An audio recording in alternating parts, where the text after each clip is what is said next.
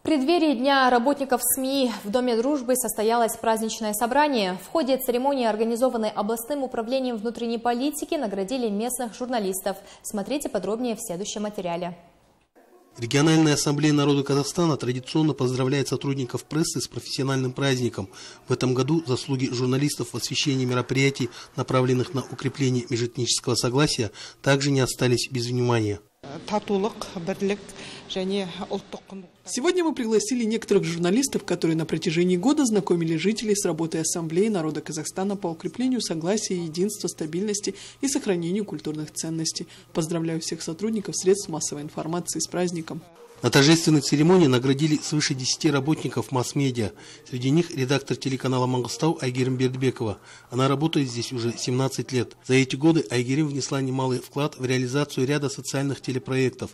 Сегодня она ведет общественный ток-шоу «Насана». әрине журналисттің жұмысы оңай емес Конечно, работа журналиста не из легких. Они не считаются со временем, трудятся в любую погоду. Напротив, дни стихийных бедствий работы у корреспондентов прибавляется. К примеру, как вы знаете, во время паводков журналисты освещали мероприятия по оказанию поддержки пострадавшим.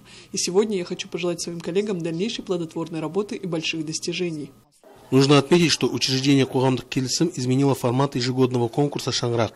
Теперь он будет проводиться на республиканском уровне. Ердос Кужантайлы Амангелді Турахмет, Дидар.